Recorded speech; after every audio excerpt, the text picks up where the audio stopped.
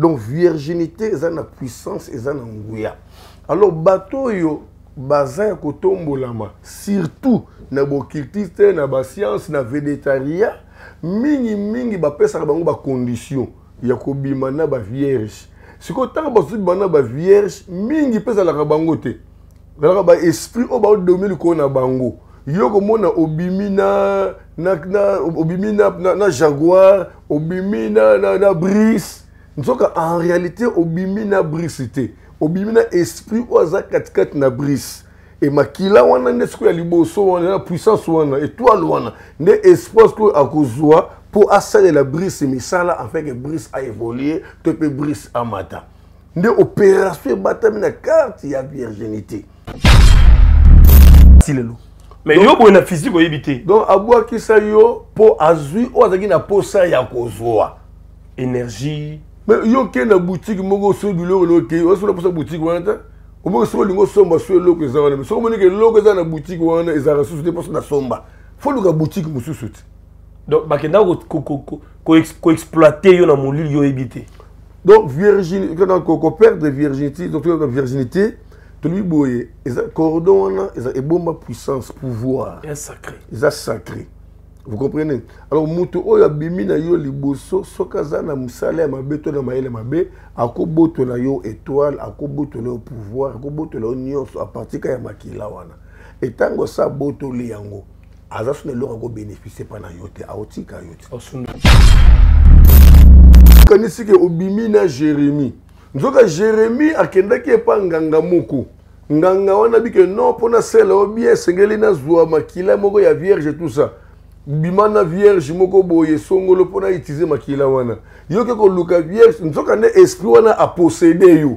ntango obimi na vierge yo te moto bina vierge esprit avandi kati na yo nde abimi na vierge mpo abende makila wana afin ke étoile ya vierge wana grâce ya vierge wana nde autilize yango mpo emema yo na succès emema yo na élévation emema yo na bénédiction moko bosongolo vous comprenez très bien première chose et deuxième chose ezalaka mpe oyo tobengaka possession ya mari de nuit to mpe femme de nuit ça existe lucie ça existe aussi oza mwana mwasi oza possédé na esprit moko songolu vous comprenez diable ayebaka mpe kodevierge bana ya basi wana sikoyo napesi conseil na basere bakengela premier rapport sexuel na bango eza na bafille oyo asala rapport sexuel amona makila te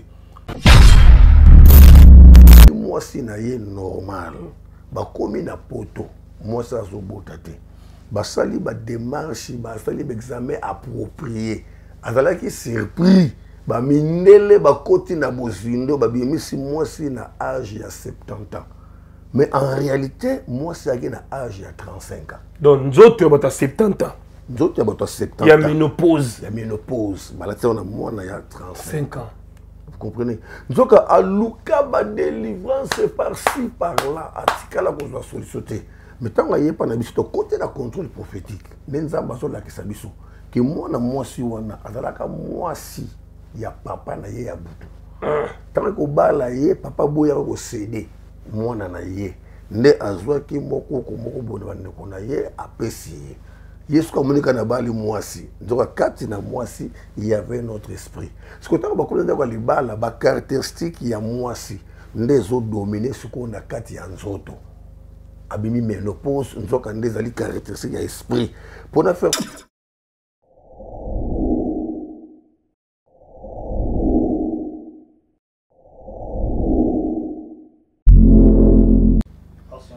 Voilà, heureux week-end, mesdames et messieurs, très chers amis téléspectateurs. Vous nous captez de partout à travers le monde sur Équilibre TV. Jérémy Loemba, les renards du désert devant vous. Alors, sans plus tarder, nous recevons pour vous un homme de Dieu que vous connaissez très bien,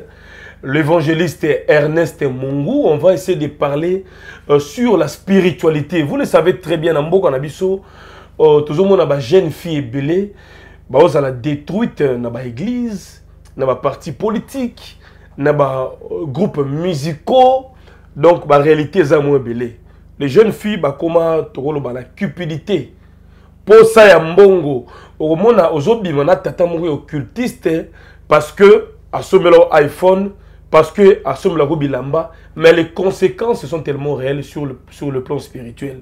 alors toko développer on a pana évangéliste Ernest Mongu euh, plus précisément les kambo tali bano ya mike bakozala déverger epai ya bato baza peut-être plus élevé en termes ya spiritualité que bango tomonaki pasteur Pierre Casse aza na prison makala parce que abalaki mineur l'état congolais etie loboko tomoni mpe dossier ya mwana nsuka ex danse ya jb mpiana oyo asali ba révélation asali ba témoignage par rapport à vie azako mene na age ya 13 batiaka ye misapi epuis alongola bazemi epuis à la fin abotaka leader alors sur le plan spirituel euh, quelles sont les conséquences baréalité eza nini je crois que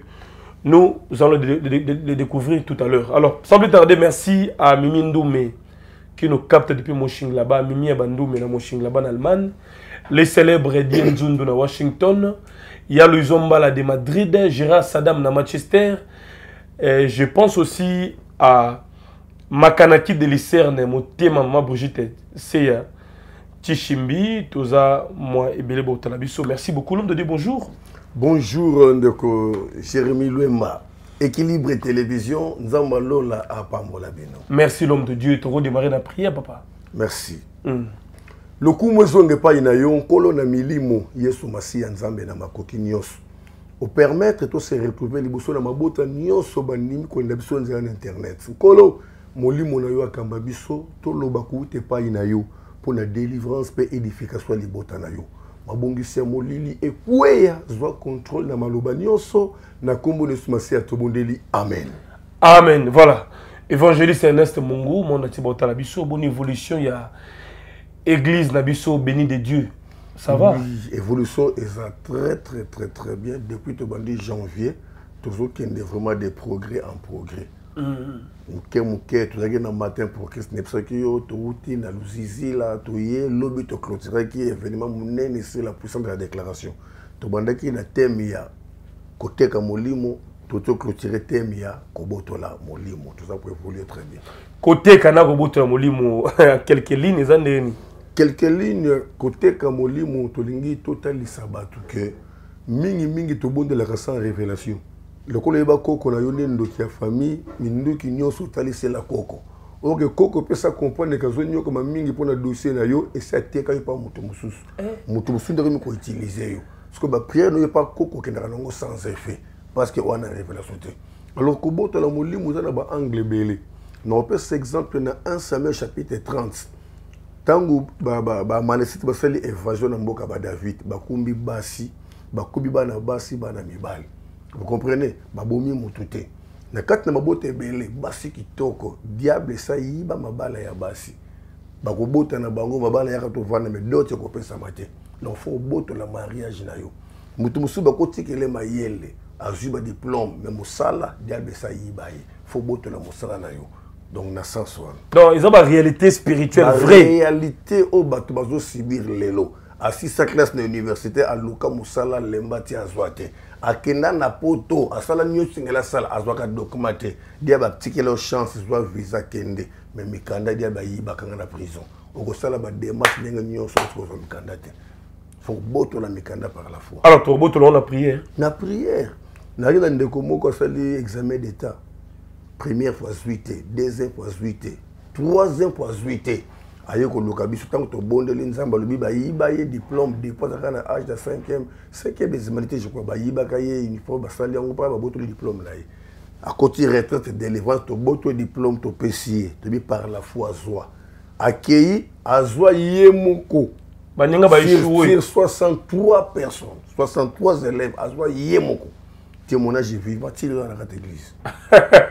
voilà mesdames et messieurs il y a plusieurs réalités alors on va poursuivre l'émission par rapport à l'actualité tolobi makambo etali baviole ekomosalama na baeglise bapastere boza mpe fautif tomoni yango ntina bagroupe musicaux bamusicien bazo détourne bavie ya bato alors otali quand même euh, un extrait mwana nsuka ex danseuse ya bcbg ya papa chéri jibe mpiana ndenge asali barévélation par rapport ya makambo oyo ya avivre au prix ya leader na ye batiaki misapi na 13 ans balongolisaka ye bazemi ti ya ye kobota l'homme de dieu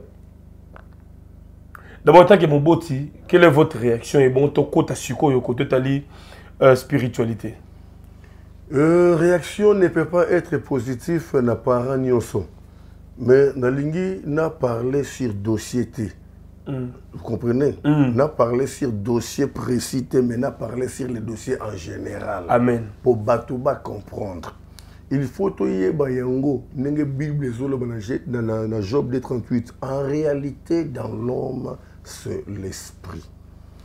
nake na parenthèse moko moke tozobenga motu lesibienne mwana mwasi en réalité lesibianisme wana ezali esprit ya mobali nde ezali koagir na kati na mwana mwasi tozobenga mwana eh, mobali pede Vous comprenez Vous avez esprit ya sirène nde avandi kati na mwana mobali azo manifester. sa parenthèse pardon vraiment pour na mema bato na compression ya likambo nazoloba. Nayaki na délivrance ya sœur moko na église abali azwi zemi mwana abotami na malformation moko terrible mpe alingaki aboma ye ntango tolekisi ye na délivrance espoir manifeste alobi nakotikala kokende te mpo aza na makila na nga tobonde tobondeli espace resiste tobi non yambola ozo remarke ke likambo makila makila makila nde mwana wana alobi abi nazo reconnaître nazalaka lesbienne mm. na lesbianisme na biso nazalaki kojoue role ya mwasi alors oyo abandi kojoue role ya mobali alobaki na ngai tomela na makila basalaki pacte wana ya komela na makila Yaka anseka ameli makila ya moninga na ye mwasi. Nzoka ameli makila ya demo oyo avandaki kati na moninga ya mwasi nde asinstale yake katikati na ye. Vous comprenez? Alors, toza na badomaine ebele na likambo etali kodevierge. Je ne sais pas soki nakozala permis ya koloba clarté ya likambo etali nzoto ya mwasi. Allez-y. Na nzoto ya mwasi ezalaka na singa moko babenga cordon. cordon wana eza lokola interdiction formelle oyo nzambe atia mm. moto akolongola cordon wana moto ya kobala yo apesi yo dot nde afungoli nzela mpo abanda kokota vous comprenez alors na cordon wana eza na, eza na puissance ya nzambe evanda katikati na yango eza vraiment na onction monene evanda katikati na yango na kati ya bible david basi officiellement oyo bayebana bazalaki basi 4 alors na basi 4 wana aye okoma na moment oyo akomi impuissant incapable alembi alors basage batali abike non basi 4 baza susu na, na, na capacité ya kofortifie david te fo balukela ye mwasi vierge vous comprenez donc virginité eza na puissance eza na nguya alors bato oyo baza ya kotombolama surtout na bocultiste na bascience na vedetaria mingimingi bapesaka bango bacondition ya kobima na bavierge sikoyo ntango bazobima na bavierge mingi mpe ezalaka bango te ezalaka baesprit oyo baodomi likolo na bango yo komona obimi na, na, na, obimi na, na, na jaguar obimi na, na, na brise nzoka en réalité obimi na brise te obimi na esprit oyo aza katikati na brise e makila wana nde sikoyo ya liboso wana na puissance wana etoile wana nde espace oyo akozwa mpo asalela brise misala afin ke brise aévolue to mpe brise amata nde opération ebatami na carte ya virginité vous comprenez donc odevirge mwasi eza eza c'est tout un travail spirituel eza na baétape enfin basorte ebele ya baesprit oyo babénéficiaka na virginité na bande soki na point ya, ya, ya, ya esprit yokanisi ke obimi na jérémie nzoka jérémie akendaki epa nganga moko nganga wana bike non mpo nasela yo bien esengeli nazwa makila moko ya vierge tout ça bima na vierge moko boye songolo mpo na utilize makila wana yo ke koluka vierge nzoka nde esprit wana aposede yo ntango bimi na vierge yo te moto bina vierge esprit avandi kati na yo nde abimi na vierge mpo abende makila wana afin ke étoile ya vierge wana grâce ya vierge wana nde autilize yango mpo emema yo na succès emema yo na élévation emema yo na bédition moko bosongolo vous comprenez très bien première chose et deuxième chose ezalaka mpe oyo tobengaka possession ya mari de nuit to mpe femme de nuit ça existe lucie ça existe aussi oza mwana mwasi oza possede na esprit moko songolo vous comprenez diable ayebaka mpe kodevierge bana ya basi wana sikoyo napesi conseil na basere bakengela premier rapport sexuel na bango eza na bafille oyo asala rapport sexuel amona makila te Ah. c'est que si ba dévierge na spiritualité ba yiba déjà makila wana ba yiba déjà étoile ba yiba déjà grâce na mona ba fille ya ndenge wana donc premier rapport nime makila ebimi te premier rapport na yo makila ebimi te nazwi na, na subir conséquence na mwana na ngai église ata na université azwi fiancé fiancé azokamwa na université maza vierge fiancé aprépare makambo nyonso na esengo abiki non tokokende boye te quand même il faut quand même na tester si réellement tout ça ntango babimi na ye fiancé adécouvrir ke oh baattitude na baacte nyonso elakisi kaza vierge mais namoni makila te eloko moko te okopone ntango atuni mpena mwasi mwasi respecte naza mpena vierge fiancé badécouvrir ya solo aza vierge mais makila wana eke wapi ntango sikoyo baye epai na biso tokoti mabondeli nzambe azobaki no moto ya diverge ezali neve na ye na kindoki donc je voulais simplement dire que kodevirge makila wana eza na nguya ya makasi eza topesa mpe réflexion na bafille nyonso bazonga na bato badevirge bango bazalaki banani bazalaki banani baviolaka yo fo olandi na délivrance Eba moto a violaka nga azaka na esprit nini? Azaka dominer na esprit nini? Peut-être ba yibaka étoile na yo mukolo ba violaka yo wana. Alors faut ko ko contrôler ba angle nyonso. Tu ko comprendre que molili to milimo ebatami na likambo etali ko dévierger parce que le sang a une puissance dans la vie d'une vierge. Alors, ça c'est bien expliqué. Merci beaucoup, évangéliste Ernest Mongou. Je crois que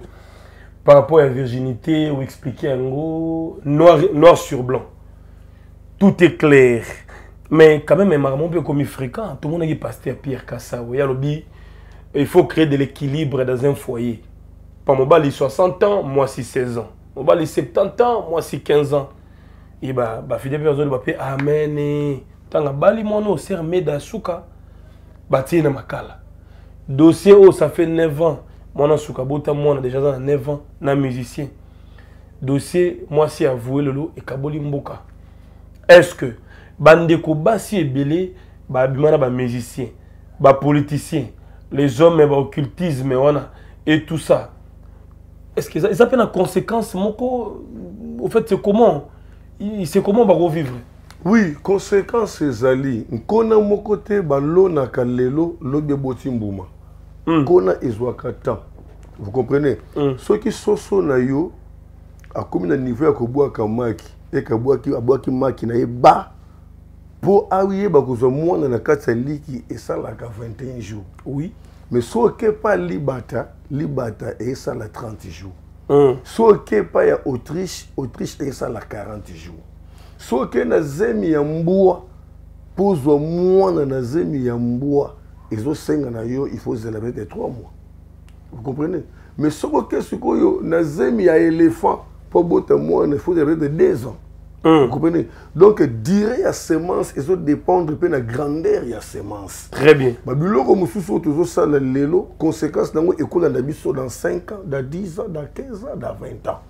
alors biloko mosusu nzambe azolobaka eloko moko te esalemaka na nkuku saki nzambe adevoile yango na pwasa alors biloko oyo akozala sacrifice oyo nzambe abimisi mpo ebenda délivrance na bato oyo baleka na banzela wana na ccc omoni miso oyo tozosala oui. eza na bato mosusu bakoreconnaitre ke ah, ngai mpe ngai mpe ngai dans le passé dans le passé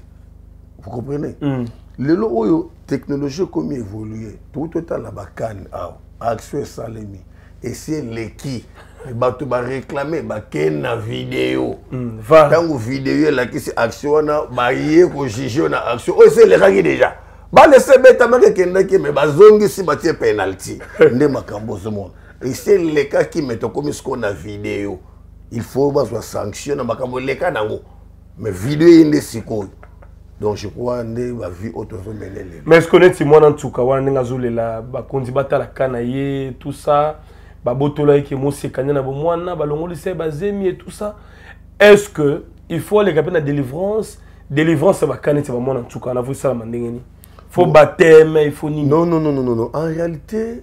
wala otula par rapport na nga to par rapport à sur le plan général neti ka ya mwana nsuka moni azolela ka ya mwana nsuka epai na biso il faut aleka na oyo tobengi contrôle prophétique contrôle prophétique nzambe nde moto ayebi nini esalemaki nini ekotaki nini ezozela ebukama nzambe nde akopesa biso révélation la bible déclare quand tu n'as pas de révélation le peuple est sans frein vous comprenez il faut nzambe arevele biso napesa en parenthèse mosusu bandeko bacomprendre pardon ndeko jérémie nazwaki cas ya papa moko na poto ayaki awa na congo avandaki kutu mpa na ngai pendant quelques jours avant kende na mboka bayombe esika abalaka mwasi na ye na congo central na congo central abali mwasi na ye normal bakomi na poto mwasi azobota te basali bademarche basali baexamen approprié azalaki surpris bamindele bakoti na bozindo babimisi mwasi na age ya 70 ans mais en réalité mwasi ayaki na age ya 35 ans donc nzoto ya bato ya 70 ans nzoto ya bato ya 70 ya menopause ya menopause balati yango na mwana ya 35 ans vous comprenez nzoka aluka badelivrance par ci par là atikala kozwa solution te mais ntango aye epa na biso tokote na contrôle prophétique nde nzambe azolakisa biso ke mwana mwasi wana azalaka mwasi ya papa na ye ya butu ntango ekobala ye papa boyaka kosede mwana na ye nde azwaki mokoko moko bona bandeko na ye apesi ye yesu amonika na bali mwasi nzoka kati na mwasi il y avait notre esprit sikoyo ntango bakomi ndako ya libala bacaracteristique ya mwasi nde ezodomine sikoyo na kati ya nzoto abimi menopause nzoka nde ezali caracteristique ya esprit mpo na faire comprendre kati oleka mbala moko na lek chapitre 13 verset 10 bible elobi il y avait une femme abotama normal bapossede na esprit moko ezalaki courbe automatiquement mwasi azwi forme ya esprit wana akomi kotambola ya kongumbama ya kongumbama ntango base retrouve na jésus jésus abondeli mpo na ye esprit wana abimi mwasi ase redresse donc bandeko nyonso obimaka na nganga obimaka na mpongo bomokolo moneka aza na bambongo na ye bima na basango bima na basango obima na bato ya ndenge na ndenge kobima wana eza na bainfluence moko songolo ezodépendre na mission oyo moto ayeli vous comprenez et surtout likambo otali virginité c'est là où il y a un problème parce que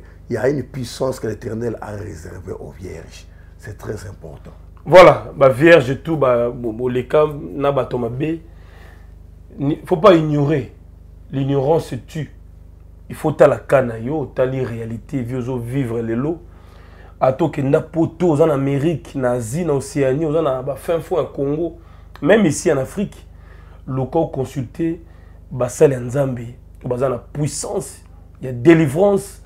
pour que ba imposer main likolo na yo parce que ba conséquences yango l'homme de Dieu olobi que bato lokola bamona nsuka wana ifo consultation prophétique après yango nde boleki na nini la délivrance délivrance à partir ya révélation nde siko révélation nde kokota la délivrance ya lokola ozobela okepa monganga fo monganga alekisi na laboratoire soit na échographie vous comprenez mpo bayeba soit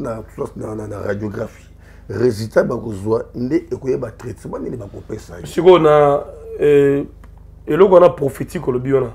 so bokoti bokomona mpena makambo ya sala tokomona conséquence ya makambo nyonso esalema na acte ya posa ah, soki ebloka vie na ye soki bateka ame na ye wana tokomona yango jérémi parenthèse mosusu makasi ezali awa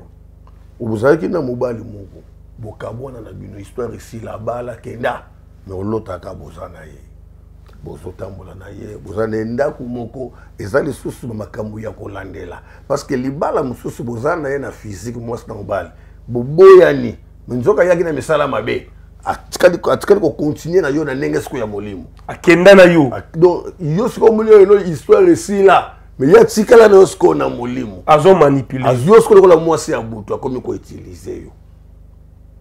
yango moni mikolo mosusu fozwa nanu temps tokendaka na premier épisode deuxième épisode troisième épisode toparle kaka sur le phénomène mari et femme de nuit mpo eza phénomène oyo edétruire mabota edétruire basanté edétruire misala ya ndenge na ndenge mais bato bayebaka vraiment kozala encadre na phénomène ya mari femme de nuit te donc si je comprends mieux eza na film mosusu musicien moko ya deviergea par exemple yo monaka mesi yango abwakisa nga parfois na esprit autilisako kaka ti lelo mais yo boye na physique oyebi te donc abwakisa yo mpo azwi oyo azalaki na posa ya kozwa énergie mais yo ke na boutique moko so biloko loke oso na posa boutique wana te omoko soki olingi osomba so eloko eza wana soki omoniki eloko eza na boutique wana ezalaka susu te mposo nasomba fo luka boutique mosusu te donc bakendaka koexploite yo na molili yo oyebi te donc virginité koperdre virginité virginité tolobi boye eza cordon wana eza ebomba puissance pouvoir eza sacré vous comprenez alors moto oyo abimi na yo liboso soki aza na mosala ya mabe to na mayele mabe akobotola yo étoile akobotola yo pouvoir akobotola yo nyonso apartika ya makila wana etango asa abotoli yango aza suna eloko ako bénéficier pa na yo te aotika yo te osundola yo soki peut-être po oyebana te tout ça akobina ebandeli akondaka kosala yango basembla basembla ti ala atiki na ye yo aluki makambo nde mosusu po a évoluer alors le message est passé tout est clair mesdames et messieurs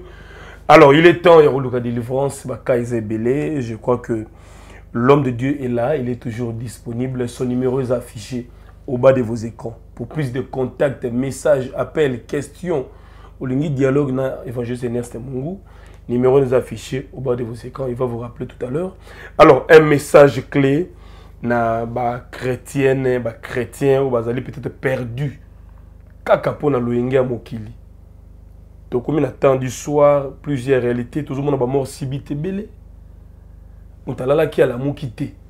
Ba jeune bazo koufre belé po nini pressé. obima na leader obima na patron obima na boss obima na magicien eza bafille mosusu meme bate bajournaliste awa ayebi ke jeune oyo aza magicien mais akomisa ye mobali na ye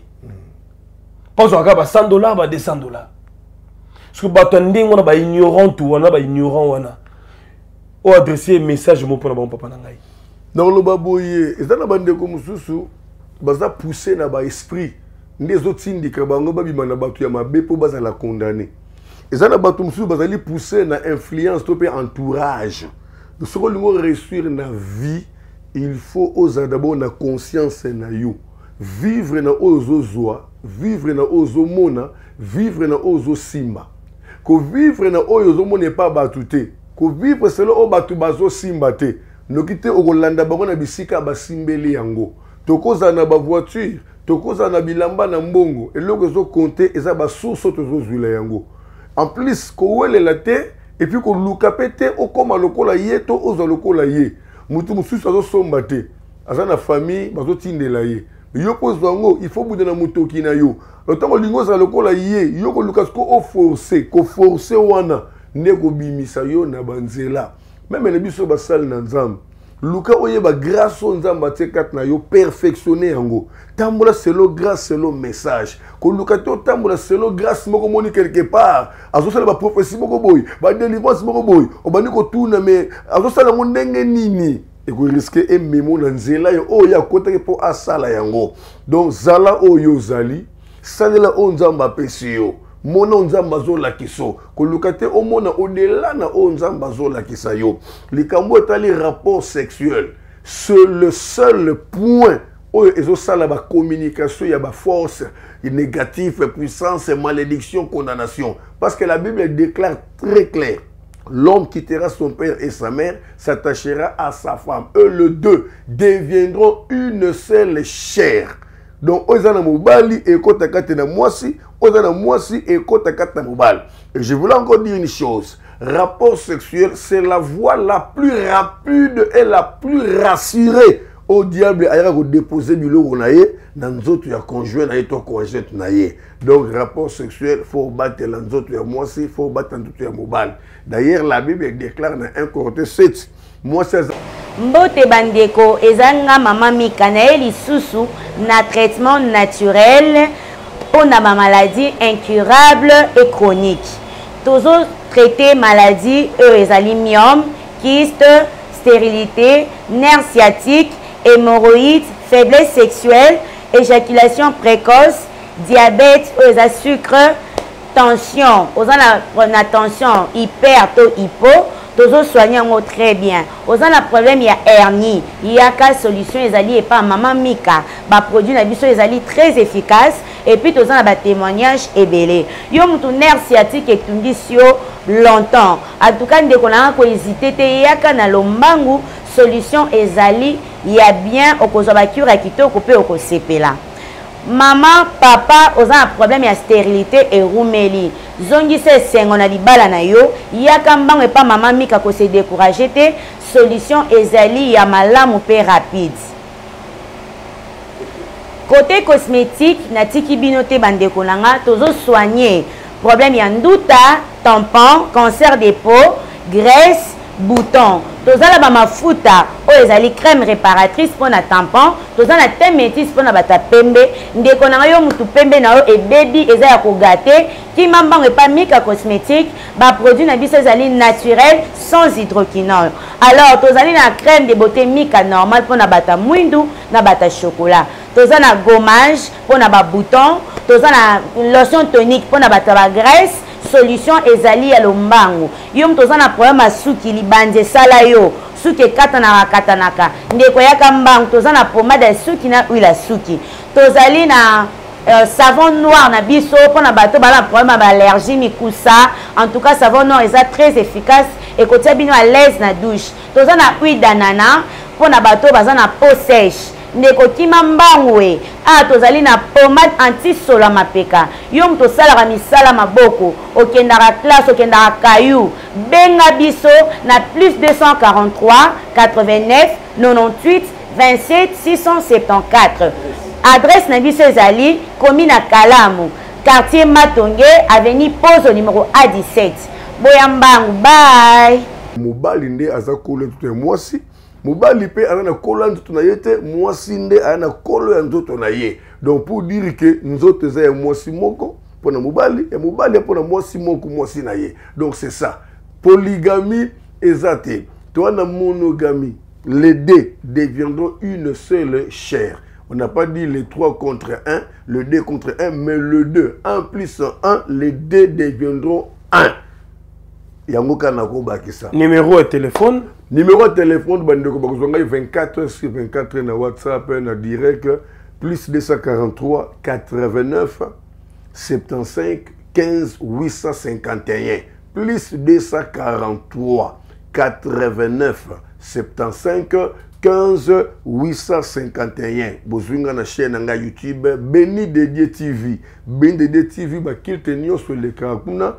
soit na page na ngai ya facebook ernest mongu ernest mongu merci beaucoup voilà merci voilà bachrétien ebele baza na ignorance l'homme de dieu tozovivre époque ya bawarrior na bagaulois tolobaka yango awa fali ate sous date double stade de martyr prochainement fere atie badidas arena na poto ozomona comment est ce que bato baza enthousiasme bakota baconcert ezaka ntango bafere na bafali to ezaka mosalaka ya molili kani ezodomine bon omoni na kati na monde ezalaka na baperiode mm. chaque période eza na baoyo nzambe atombolaka na chaque période chaque génération ndenge moko mpe na monde ya ténèbre vous comprenez bato oyo nzambe azotombola eza ndenge mona bato monguna azotombola alors ntango diable azotombola esprit ya diable etraveraka en esprit or esprit a na nzoto te esprit faut pour travailler faut na corps ndio moni baso kota na ba corps à travers la domination vous comprenez les jeunes sont dominés aujourd'hui ils perdent même les raisonnements de de de, de ya ko s'occuper na oyo ezali ba propre vie na bango bato baza capable ya koparie na biloko ezangi ntina mpe mbongo ekei me bango batikali na baniongo vous comprenez dia bazali kolalisa bajeune plus pongi mpo bayeba kose develope te yango moni tozobunda lelo oyo meme église eza ya kolala pongi mm. po tokoma okota na molongo ya molili wana basali nyonso ya nzambe bakomi na mposa bavoiture basuccès banini église ekomi affaibli bafidèle nyonso bakomi na fanatisme parce que lelo soki apaster moko atombolami ekomi kaka ndenge mona balide toomona wana eglise ya fanatisme kofinga paster na ye te kolobela paster na ye te hmm. ata alobi likambo eza normal teke aza kaka vrai nde domination wana diable azoluka aincarne monde entier alors le message est lancé merci merci infiniment en tout cas vous tous hein, de partout botali biso euh, pasteur jérémie l'homme de malemba nkulu Pasteur Jérémie Lhomme de Malemba Nkulu ainsi que l'honorable Fanny Kabulo, notre maman na pesi bino mbote. Papa Philippe Kabuiku na Fribourg depuis Switzerland. Et merci à Yalouison Mbala de Madrid, les célèbres Dienzundo na Washington, grand frère propre, Gérard Saddam na Manchester, Boza Ebele. Borotala Bisso régulièrement sur Équilibre Télévision. Soyez bénis. que Dieu vous bénisse. Mimindoume Namouching là-bas, je te salue. Merci à Sema Mayasi si femme légitime. Yajansi Maya, si force à Italia, Maître Souka, ma puissance ami Kili. Vous avez vraiment belé. Merci pour tout. À nous revoir très prochainement sur la même chaîne et surtout avec les mêmes plaisirs. Bye et au prochain rendez-vous.